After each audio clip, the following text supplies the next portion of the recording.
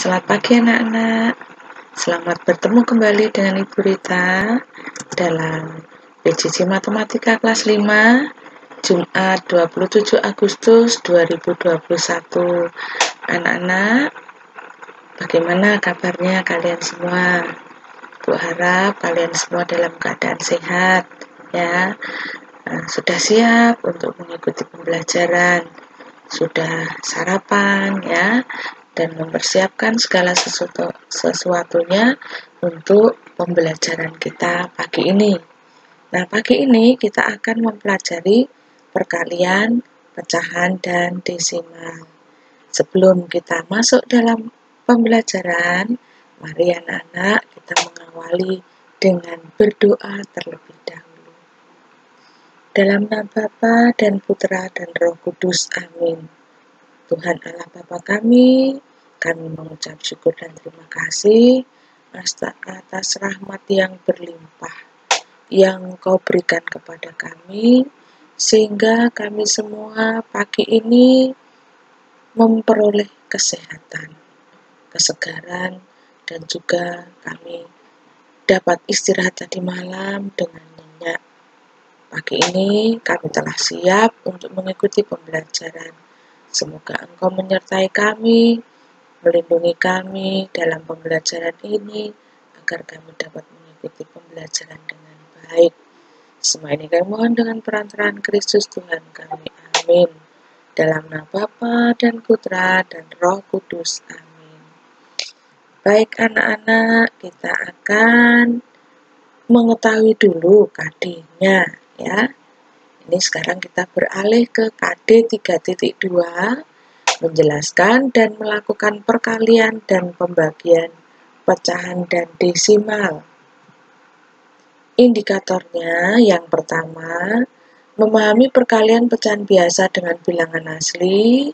Yang kedua, memahami perkalian pecahan campuran dengan bilangan asli. Tujuannya Siswa dapat mengalihkan pecahan biasa dengan bilangan asli dengan benar. Siswa dapat mengalihkan pecahan campuran dengan bilangan asli dengan benar. Oke. Nah, perkalian pecahan dan bilangan asli. Perhatikan.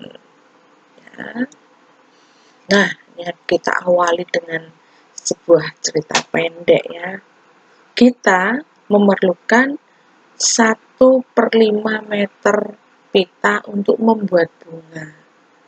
Berapa meter pita yang diperlukan jika akan membuat tiga bunga? Nah, ini ada uh, himbauan ya. Ingat, perkalian merupakan penjumlahan berulang. Di sini uh, kita memerlukan seperlima meter pita untuk membuat bunga. Ini untuk satu bunga. Nah, sekarang berapa meter pita yang diperlukan jika membuat tiga bunga? Maka ini ada garis ini menggambarkan pita ya. 1 per 5 meter, 1 per 5 meter, 1 per 5 meter. Nah, ini satu bunga, dua bunga, tiga bunga. Kalau kita jumlahkan, karena perkalian merupakan penjumlahan berulang 1 per 5 ditambah 1 per 5 tambah 1 per 5 sama dengan 3 per 5 ya. Karena penyebutnya sama maka tinggal menjumlahkan pembilangnya nah 1 per 5 ditambah 1 per 5 ditambah 1 per 5 ini dapat ditulis 3 kali 1 per 5 Perhatikan, tiga inilah bilangan asli. Ya, tiga kalikan penyebutnya saja. Eh maaf, tiga kalikan pembilangnya saja. Tiga kali satu, sedangkan penyebutnya tetap. Ya, tiga kali satu tiga, penyebutnya lima. Jadi pita yang diperlukan untuk membuat tiga bunga adalah 3 per 5 meter. Nah, bilangan asli dikalikan dengan pecahan, hasilnya adalah bilangan asli itu dikalikan pembilangnya, sedangkan penyebutnya tetap. Ini tadi ya, bilangan asli dikalikan pembilangnya. 3 kali 1, sedangkan penyebutnya tetap. Kalau kita buat menggunakan huruf, ya, A kali B per C sama dengan A kali B per C. Ya, A ini ada bilangan bulat, B per C ini adalah bilangan pecahannya. Nah, ini A per B kali C. A per B ini pecahan, C ini bilangan bulat. Maka A dikali C per B. Oke, untuk lebih jelasnya, Ibu akan memperlihatkan uh, latihannya, latihan soal atau contohnya ya. Kita akan mulai dengan perkalian pecahan biasa dengan bilangan asli. Perhatikan. Contohnya, 1, 6, ini bilangan asli, akan kita kalikan dengan 3 per 4, ini pecahan. Sama dengan, lihat, 6 kalikan pembilangnya per penyebutnya.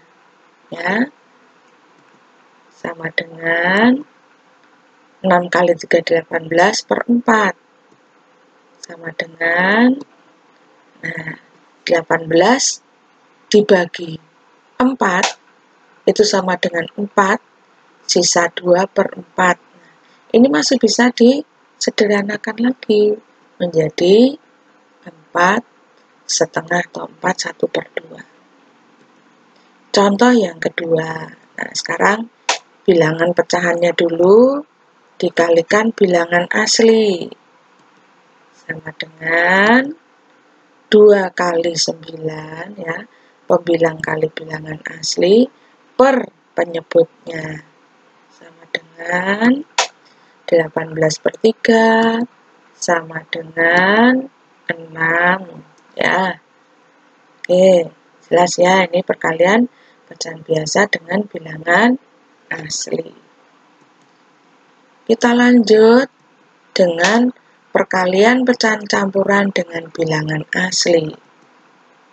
Contohnya, 1, 1 2 per 5 dikali 4 sama dengan nah ini dijadikan pecahan biasa dulu ya pecahan campurannya. 1 kali 5 ditambah 2, 7 per 5. Lalu kalikan 4, sama dengan 7 kali 4 per 5, sama dengan 28 per 5. Bentuk sederhananya 5, 3 per 5. Oke, contoh yang kedua, bilangan asli kita kalikan dengan pecahan campurannya sama dengan 3 kali ya. Bilangan campurannya atau pecahan campurannya kita jadikan pecahan biasa ya. 1 kali 7 tambah 4 11 per 7 oke. Lalu kita kalikan 3 kali pembilangnya per 7 sama dengan 33 per 7. Kita sederhanakan menjadi 4, 5 per 7. Ibu rasa jelas ya anak-anak, cukup mudah ya, tidak sulit ya. Oke. Nah, untuk lebih memahami, Ibu tentunya memberikan latihan soal.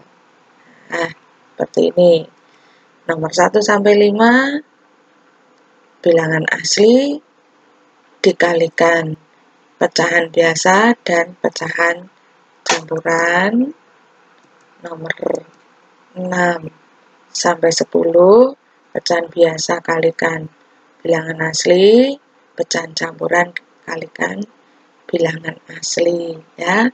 Cara-cara mengerjakannya seperti yang sudah ibu jelaskan tadi ya. Anak oke. Anak-anak apa yang dapat kita simpulkan pembelajaran kita kali ini? Nah, bila bilangan asli dikalikan dengan pecahan, maka bilangan asli itu dikalikan dengan pembilangnya, sedangkan penyebutnya tetap. Baik anak-anak, demikian pembelajaran kita. Cukup singkat ya ibu rasa jelas silahkan anak-anak mengerjakan soal latihannya kemudian dikirimkan kepada wali kelas. Terima kasih atas perhatiannya. Mari kita tutup pembelajaran kita dengan berdoa. Dalam nama Bapa dan Putra dan Roh Kudus amin.